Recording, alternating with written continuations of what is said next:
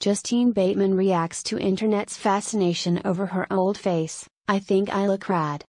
Justine Bateman, an actress who starred on the 80s sitcom Family Ties as a teenager, is getting candid on aging. The 57 year old, who expanded her career to also include directing, writing, and producing, opened up in an interview with 60 Minutes Australia, published online March 19, about how she came to realize many people on the internet had a fascination with her appearance. I needed to Google something to do a little research, and it reminded myself of something that happened when I was famous, so I put in my name, Googled my name, Justine Bateman, and an autocomplete came up which was looks old, she said, adding that she was around 42 at the time. I was like, what? She continued.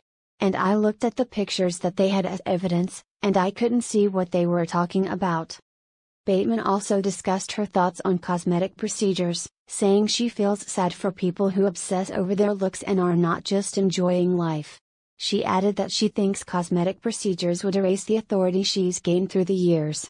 I like feeling that I'm a different person now than I was when I was 20, she said. I like looking in the mirror and seeing that evidence. As for other people's opinions of her looks, Bateman said she doesn't care. I think I look rad, she continued. I think my face represents who I am. I like it, and so that's basically the end of the road.